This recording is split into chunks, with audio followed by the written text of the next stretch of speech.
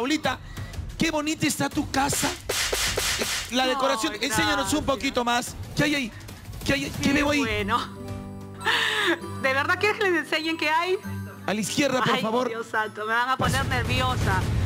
Bueno, un lindo recuerdo acá con mi amigo. Mi ex amigo, porque ya. A ver, Ponche, respeto, Ponche, ¿no? camarógrafo, por favor, nuestro amigo camarógrafo.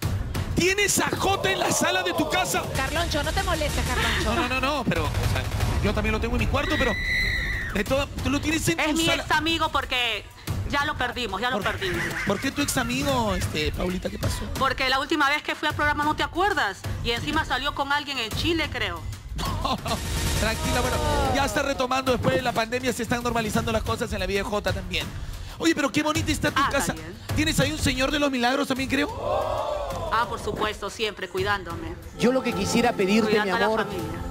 yo quiero que se siga abriendo la toma. Me encanta que te hayas robado el reloj del parque universitario, ese que está atrás. Ay, es grandote, inmenso.